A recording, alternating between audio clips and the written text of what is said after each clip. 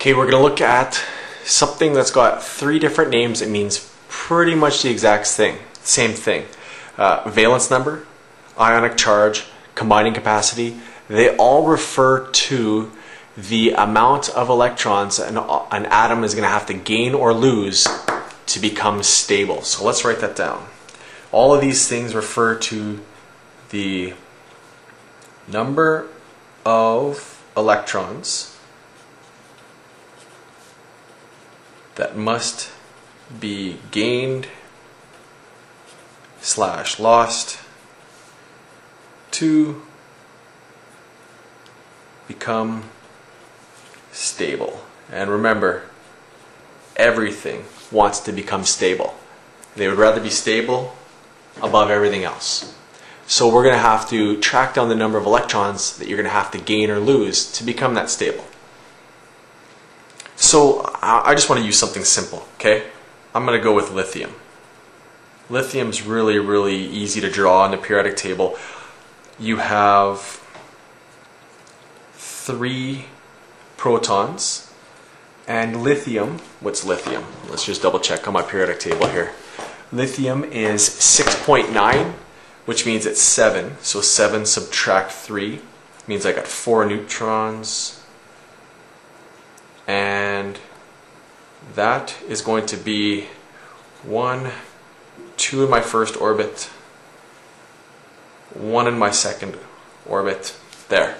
Okay, that's my Bohr model for neutron, or sorry, for, for lithium. What I want to do, I'm going to prove that whole thing that shows that this lithium atom is neutral. So if I look, I've got three protons. The number of protons equals the number of electrons, so that means I've got three electrons. Three positives, three negatives, zero, or neutral. Okay? I want to show my ionic charge, my combining capacity. I want to know how many of these electrons I'm going to have to gain or lose to become stable. Well, if you look at this thing, this has got one electron in this orbit here. One electron in a whole outer orbit that can hold eight in total is keeping lithium neutral, but it's really, really unstable. It's got one electron in here. So what it would like to do is it would like to get rid of this electron. So one electron is going to take off if I redraw this thing as having three protons, four neutrons, there's my nucleus, and all I've got now is this and this, well, then I can redraw my number of positives, restate them, three positives, and now I only have two electrons, so that is an overall charge of one proton, which is one positive. So my valence number, my ionic charge, or my combining capacity for lithium is 1 plus. Now, you got to watch out because you could be told or you could be asked, what's the number of valence electrons? Well, that's a totally different question. Number of valence electrons is the number of electrons in the outermost shell, which is 1. So your number of valence electrons is one electron. Your valence number is 1 plus. Your ionic charge, or your ionic number, 1 plus. Your combining capacity, 1 plus. That's for lithium. That's for one of the ones that's on the right hand side of the, or sorry, left hand side of the periodic table. This is a metal. Metals, you'll notice, will tend to always be positive. So you can double check that on anything you'd like. I'm going to do also now a simple one on the right hand side of the periodic table. I'm going to do nitrogen. Nitrogen is a nonmetal.